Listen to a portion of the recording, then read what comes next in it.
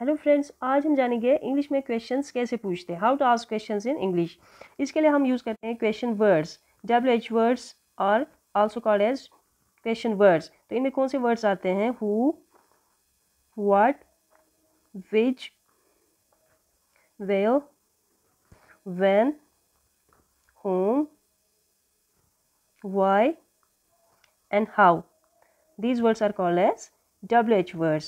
So we begin our question using any of these words in words में से हम कोई सा भी हम यूज़ करके इंग्लिश में क्वेश्चन पूछ सकते हैं। फॉर एग्ज़ाम्पल हु हु का मतलब होता है कौन।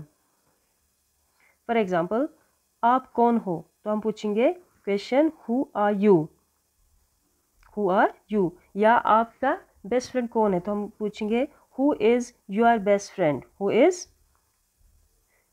your best friend who is your best friend next word जो हम क्वेश्चन पूछने के लिए यूज़ करते हैं दैट इज़ व्हाट व्हाट का मतलब होता है क्या?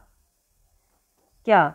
आपका पेशा क्या है? तो हम यूज़ करेंगे वर्ड यहाँ पे what what is your profession या what is your job what is your profession आपका प्रोफेशन क्या है?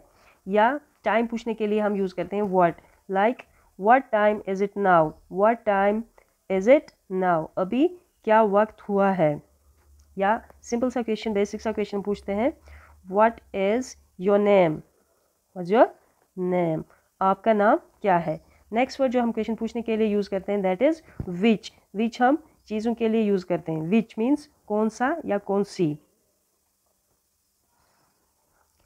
आपकी फेवरेट गेम कौन सी है? तो हम पूछेंगे question using the word which which is your favourite game या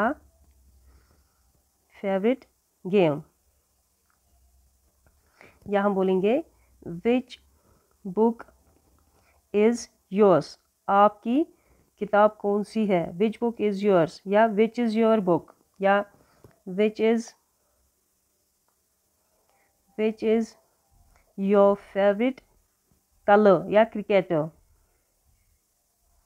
नेक्स्ट वर्ड जो है क्वेश्चन पूछने के लिए हम यूज़ करते हैं दैट इज़ वेयर वेयर का मतलब होता है कहाँ? जब हम प्लेस के बारे में जानना चाहते हैं, हमारे क्वेश्चन में वर्ड कहाँ यूज़ होना है तो हम इंग्लिश में पूछते हैं question using the word where for example आप कहाँ रहते हो? Where do you live where do you live आप कहाँ रहते हो?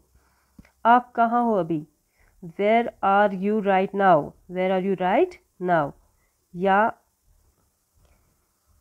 वेयर इज़ माई फ़ोन मेरा फ़ोन कहाँ पर है? Where is my phone so where is use to know about the place कहाँ? वेयर का मतलब होता है कहाँ?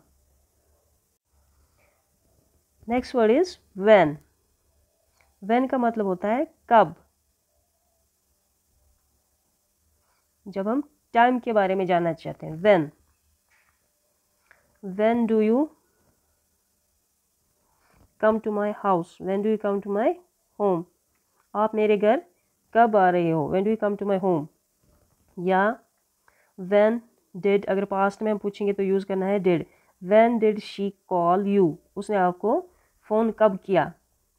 डिड यहाँ पर याद रखना है, जब भी डिड यूज़ होता है तो मैन वर्ब का हमेशा पहला फॉर्म यूज़ होता है। डिड के बाद हमेशा मैन वर्ब का पहला form when did she call you या when is he going to America वो अमेरिका कब जा रहा है? When is he going to America तो वैन हम यूज़ करते हैं कब, यानी टाइम के लिए। Next one is whom whom का मतलब क्या होता है? किसको या फिर किसे?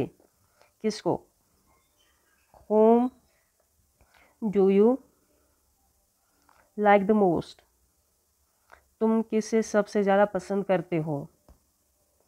होम डिड ही कॉल उसने किसको फ़ोन किया? किसको या किसे? होम मीनस किसको या किसे? होम डिड ही कॉल उसने किसको कॉल किया? डिड यहाँ पर यूज़ हुआ, इसलिए मेन वर्ब का यूज़ होना है। पहला फॉर्म या whom does she tell whom does she tell the story वो किसको कहानी बताती है? Whom does she tell the story यहाँ पर डज और पहला फॉर्म वर्ब का। प्रेजेंट में हम ये पूछते हैं। Whom does she tell the story whom did he call whom do like the most whom का मतलब होता है किसको या फिर किसे। Next word is why why means क्यों? जब हम रीज़न पूछते हैं। रीज़न के बारे में जानना है, क्यों? फॉर एग्ज़ाम्पल क्यों रो रहे हो? Why are you crying why are you crying क्यों रो रहे हो? वाई आर यू सैड क्यों उदास हो? वाई आर यू सैड आप क्यों देर से आए? वाई आर यू लेट ठीक है? वाई आर यू एंग्री आप गुस्से में क्यों हो? Why are you angry why is she absent वो गैर हाजिर क्यों है? Why is he running fast वो तेज़ तेज़ क्यों दौड़ रहा है? क्यों भाग रहा है? Why is he running fast why are you awake आप जागे क्यों हो? आप क्यों जाग रहे हो? Why are you awake so these words are you this word is use to ask about the reason to know about the reason क्यों? Why are you crying why are you sad why are you late extra next जो है that is how how का मतलब होता है कैसा? कैसा? या कैसी? या कैसे? आप कैसा फील कर रहे हो? हम पूछेंगे हाउ आर यू फीलिंग या आपकी क्या उम्र है? कितनी उम्र है? तो हम पूछते हैं question using the word how how old are you तो यहाँ पर उम्र पूछने के लिए भी हम यूज़ करते हैं वर्ड हाउ या हाल पूछने के लिए भी हम यूज़ करते हैं word how how are you feeling ठीक है?